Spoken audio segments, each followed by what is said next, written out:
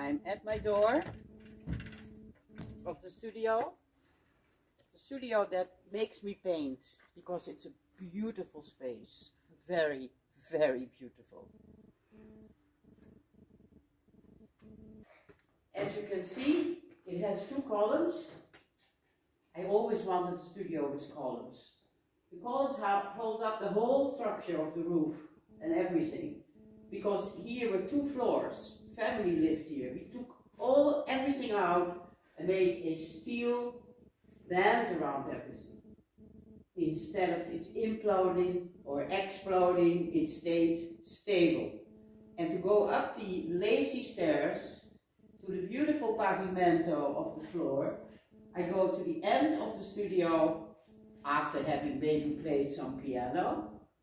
Or here I prefer to stand reading or looking at pictures, like my, from my own book, like this one. Um, it's a beautiful place. The light is delightful. The light is beautiful. And I go every morning very early and walk slowly towards the back wall, which is my favorite wall for painting.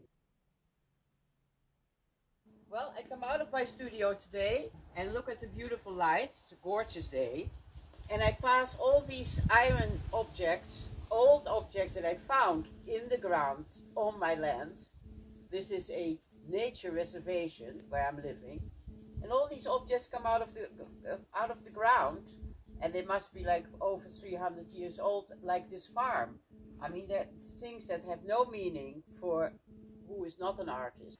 Um, and also for my sculptings, look at these wonderful ancient things that farmers use to plow and sit on them with strange, strange things that could be a Tinguely or it could be any César. Anyone could use this as a sculpting.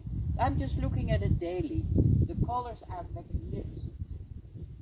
Trees, the ginkgo bilobas, that yellow. I go to my studio, I see that yellow, and I want to paint that yellow. They do their own thing. Some of them have no leaves left. These ones are just, that yellow is again some beautiful red berries on that little thing.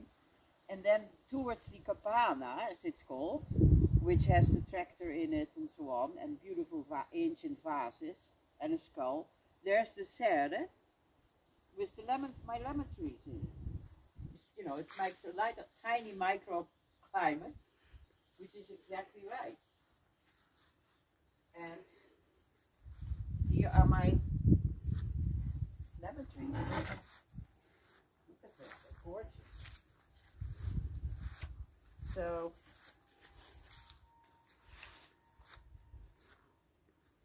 lemons are growing, they're getting there. I use them for my daily meals.